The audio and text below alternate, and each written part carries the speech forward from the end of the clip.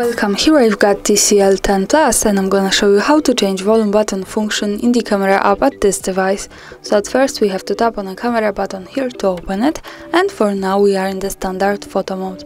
The volume buttons in this device are here, so let me try to tap on this now to see how it works with the camera.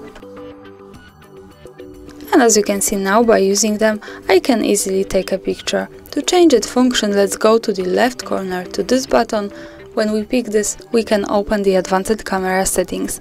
Now let's slide a little bit down to the general settings. At the second place here we have the volume button function, so when we pick this, we can change it from shutter to zoom or volume. For now it was shutter, let me pick zoom.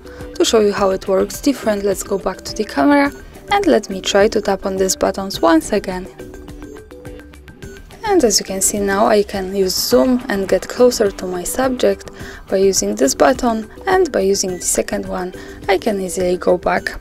So this is how it works, thanks for watching, subscribe our channel and leave the thumbs up.